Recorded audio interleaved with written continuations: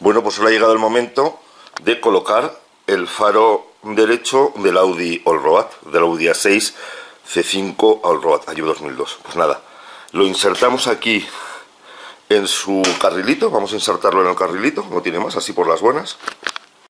Hemos puesto en un carrilito, son cuatro tornillos, dos aquí, el largo este, que es el que iba ahí abajo, ahora lo vemos, y el lateral que viene por aquí, ¿vale? Esos son los tornillos. Bueno, pues como veis, estoy en el tornillo justo de ahí abajo, lo estoy apretando ahora, a ver si se ve un poquito mejor. ¿Vale? Ahí está. Tornillo abajo, estos dos tornillos de aquí y el tornillo de aquí. Esos son los cuatro. Venga, termino de apretarlos.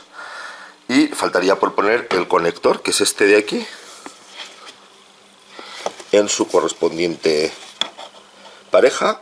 Y listo, ya estaría puesto, sacado y quitado uno de los faros. Como veis es